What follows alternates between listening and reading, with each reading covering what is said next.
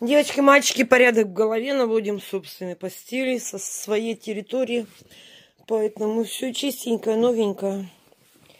Чтобы нас не загнали в депрессию, начинаем свои, со своей постели, со своей территории.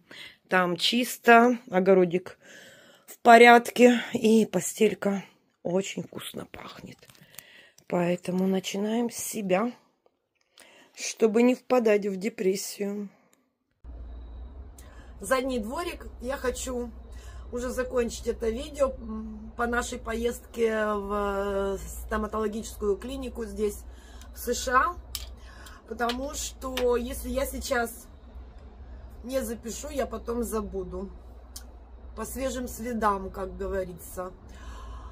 А, Вообще-то, знаете, у меня такие сумбурные мысли в голове. Потому что раньше меня считали такой, знаете, пробивной, сильной женщиной, которая все знает, войдет в любую дверь. А здесь я себя просто чувствую таким слепым котенком. В общем, муж все меня контролирует. Забери эту бумажку, забери этот номер, забери драйвер лайсенс. А ты вот это вот сделала, а ты вот это вот нашла. И поэтому для меня вот э, каждый такой новый шаг становится чем-то таким вау, необычным. Это меня изматывает, я очень переживаю. И, конечно же, я очень благодарна мужу, во-первых. Во-вторых, вот сейчас реально я, естественно, не выспалась. Я вся себя извела переживаниями, как это будет, а сколько это будет стоить и так далее, как заполнить эту форму электронную. Но в результате все получилось. А, вы помните эту историю, как мы не могли сделать э, страховку, за вторым разом только получилось, я не могла с брокером связаться, причем эта клиника, она а, имеет его фамилию. То ли клиника его жене принадлежит, то ли это его частная компания, еще одна, я не знаю. Это уже не важно, нам сотрудники не сказали. Видимо, это держится, может быть, в секрете, не знаю. Я вам сейчас рассказываю просто свои впечатления. Сейчас, знаете, я хочу очень спать и есть, потому что, естественно, поехала голодная. И настолько уже, знаете, измотан организм, вот нервная система, что сижу и глаза закрываются. Но думаю, я все равно должна это видео закончить. Как бы выдать результат. А я осталась очень довольна, потому что судим по окончании процесса. Что я хочу сказать, что меня удивило и э, что мне понравилось. Ну, во-первых, прекрасный коллектив, конечно. Большое значение имеет все-таки говорить на своем разно, э, родном языке. Меня обслуживал мальчик, значит, ну, для меня это мальчик. Его зовут э, Роман он из Украины. Я смотрю, он со мной говорит по-русски, а ему тяжело. И я говорю, вы говорите, ну, спрашиваю, вы, вы по-украински говорите? Он говорит, да. И он запросто начал со мной болтать по-украински. Очень скромный, а, такой, знаете, очень чистенький, такой аккуратненький. А вот я вашу голову немножко сюда э, придвину, когда мне делали эти все рентгены. Что касается персонала, они очень терпеливо все это помогли мне заполнить. Ну, были так немножечко раздражены, потому что это занимает время. Тут идут еще параллельные звонки. Ну, а потом уже я уже как бы выходила. Извините, я повторяюсь, может, говорю не связано, но, правда, я очень уставшая. Во-первых, я очень переживала. Для меня стоматолог – это нечто. Э, дело в том, что меня, меня в детстве напугали э, врачи советские. В первом классе посадили в кресло. И э, одним махом, значит, отремонтировали мне, просверлили 8 зубов. И я запомнила это надолго, это была дикая боль, и вот с детства у меня страх большой перед врачами-стоматологами. И кроме того, их очень боялась моя мама. Вот, и очень вежливая, да. И потом мы разговорились, когда я уже вышла из этих... Это причем не кабинет так вот отдельно для каждого пациента. Это такие стоят перегородки. То есть, если кто-то там будет на кресле орать, значит, надо будет терпеть. Но там, по-моему, 6 таких ячеек я насчитала, и всего лишь два доктора в этой клинике. Ну, есть еще другой, конечно, персонал. Там вот двое, по-моему, сидели на регистратуре такой, так называемой. Есть ассистент и есть э, женщина, которая занимается чисткой зубов. Чистку, э, чистку зубов мне сегодня не сделали. И я, в принципе, ее боялась. Почему не сделали? Потому что, как мне объяснила врач, это не займет 5 минут. То есть они, видимо, проводят тщательную чистку зубов. Не так, как вот, ну, здесь я ходила по бесплатной страховке к американскому доктору. И мне так быстренько раз-раз там прошлись, но я боялась, чтобы если у меня там пломбы, допустим, какие-то, а, чтобы эти пломбы не повыскакивали, потому что стоматология в США очень дорогая, я была крайне напугана вообще всеми этими проблемами. Но они сказали, что 5 минут не хватит, и вот ассистент э, добавил, что если там какая-то пломба, ну, уже шатается, но все равно со временем выпадет, чтобы я не боялась. Я спросила, обязательно ли делать чистку зубов. То есть у меня так внешне как бы зубы э, чистые, а вот в середине налет от того, что я курю. Вот. И врач объяснила, что чистку обязательно нужно делать, потому что это микробы, там бактерии лишние. И, в принципе, это вредно. Так что зубы должны быть чистые. А, что еще? Что меня смутило? Знаете, я вот приходила к врачам в Украину, и мне доктор сразу говорил, нужно сделать это, это, это, все без разговоров. То есть он сам решал. А здесь я пришла и начала показывать, вот здесь у меня дырочка, вот здесь у меня дырочка, вот здесь у меня дырочка. И они потом уже, знаете, так начали осматривать. Они обращали внимание, в принципе, на что-то другое, что у меня э, какие-то есть э, генетические проблемы, связанные с костью, то есть челюсть, она как бы опускается. Я говорю, что с этим делать? Она говорит, это генетическая проблема, ну, как бы по наследству досталось мне. С этим ничего не сделаешь. Они там спрашивали, хочу ли я улучшить свою улыбку. Я не знаю, что это значит. Я сказала, что нет, потому что, может быть, это требует дополнительных денег, а мы как бы сейчас не в том состоянии. А, спрашивали, или я хочу полностью весь рот поменять, ну, наверное, вставить винилы, там, не знаю что. Я тоже сказала нет, что это только будут э, какие-то участки, да, что нужно полечить. Ну и врач посмотрела, предложила мне, дело в том, что у меня четыре зуба мудрости еще стоят на месте. И она сказала, что их нужно вырывать. Я когда мужу вот это вот сообщила, он сказал, что да, здесь это принято. В общем, вот этот зуб, который у меня болит, да, с этой стороны, а, она сказала, что его лечить практически бесполезно, то есть говорит, мы тебе поставим пломбу, но это не факт, что зуб перестанет болеть. Я не знаю вообще, что делать. Если придется вырывать, для меня это вообще какой-то кошмар. Конечно же, все это делают под наркозом как бы я не готова. Вот, психологически я не готова. Мне нужно еще погуглить, насколько вредно или полезно вырывать вот эти вот зубы мудрости. Она сказала, что надо все четыре выдрать. Вот, и что же я хотела, а, да, по ценам теперь, да, с зубами надо будет подумать, То есть а, насильно ничего тебе делать не будут. Они сделали диагностику, а, они имеют уже мою историю. Вот эта вот петиция, эта форма, она отправляется еще куда-то там выше, видимо, или в страховую компанию. В общем, все это очень серьезно. Заполнять нужно было только на английском языке.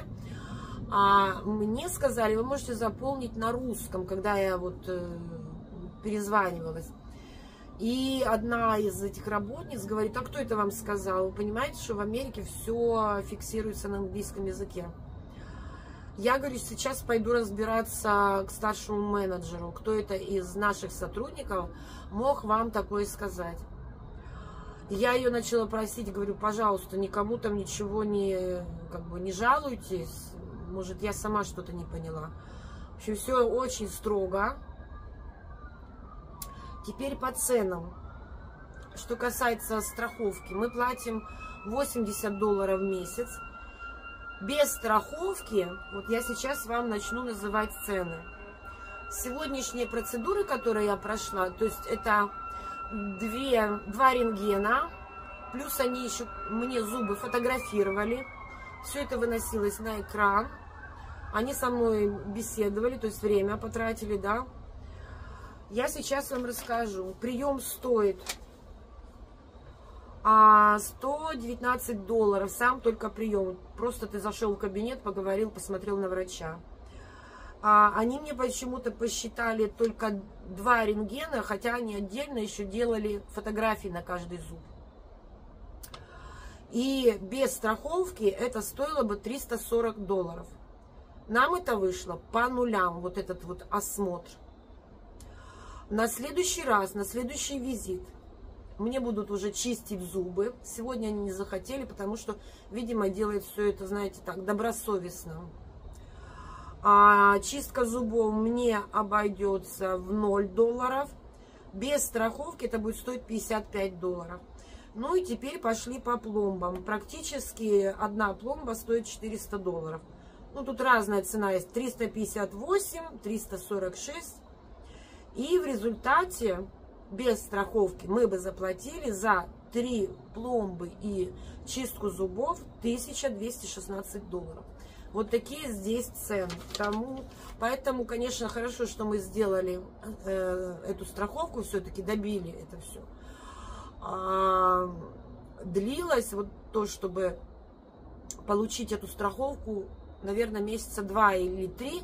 Кто меня смотрел постоянно, я уже и на брокера этого медицинского злилась и, и вообще злилась на всю эту систему, как мне все это надоело, как это все сложно. Но это действительно непросто, потому что ну, это чужая страна. И ты каждый раз все это для тебя как начало какого-то нового пути. Вот все через практику нужно узнавать. Вот мы сегодня поехали, познакомились, какой там персонал, мне там понравилось. А, я уже благодарна этому брокеру. В первую очередь я благодарна своему мужу, хоть он и матерился.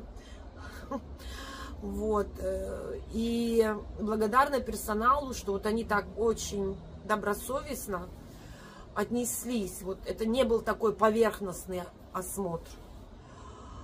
А, я должна все-таки подумать насчет зубов мудрости. Конечно, для меня это шок. Поэтому, да, страховку делать выгодно. Но мы планировали, значит, полечить зубы и отказаться от нее. Чтобы отказаться, нужно наперед заплатить еще 240 долларов. И вот я думаю, если мы откажемся, а э, пломба не будет работать и придется зубы рвать, я не знаю, сколько это стоит. То есть надо будет как-то, наверное, подождать или, может быть, муж бы смог свои зубы полечить за это время, не знаю. В общем, для меня все это не просто, вот не потому, что я там не хочу, я теряюсь, я теряюсь. Для меня все это непонятное, мне кажется, что это какая-то э, лишняя тема, э, тягомотина вот с этими э, какими-то страховками, там, ну, приехала, покажи документы и все а, с этими, я не знаю, с этой формой. Ну, это Америка, детка. То есть, э, что еще интересного, я сейчас скажу. Значит, э, там мне еще назначили один визит на 151 доллар без страховки, и мы должны будем заплатить 30 долларов. А все остальное доплачивает, естественно, страховая компания. Вот, и в результате мы должны будем заплатить всего, ну, где-то 180 долларов. То есть за 4 пломбы, чистку зубов, общение с врачом, за то, что тебе сделали там все эти анализы, как бы, составили твою историю, то есть до 200 долларов. Но все равно, знаете, наверное, в следующий раз я поинтересуюсь, сколько стоит, что вообще значит, хочу я улучшить свою улыбку или нет, что это значит вообще-то. Пусть мне расскажут. И, может быть, нужно поинтересоваться на всякий случай, сколько стоит, например, коронка там или имплантант, имплант, да? Я просто не знаю. Если, например, здесь страховая компания оплачивает все-таки большую сумму, то мне непонятно, почему люди едут в Турцию, Мексику, либо к себе на родину. Все-таки нужно платить за билет, чтобы полечить зубы. Ну, понятно, страховку нужно оплачивать каждый месяц. Вот, например, за год это получится 80 а, на 960 долларов, да, за год. Хотя это тоже не очень-то много, но с другой стороны, знаете как. Нужно все подсчитать и понимать, что выгодно, а что нет. Конечно же, если зубы в плохом состоянии, то, конечно, то обязательно, вернее, я просто уставшая, нужно иметь э, страховку на зубы, на то, чтобы полечить зубы здесь, в США.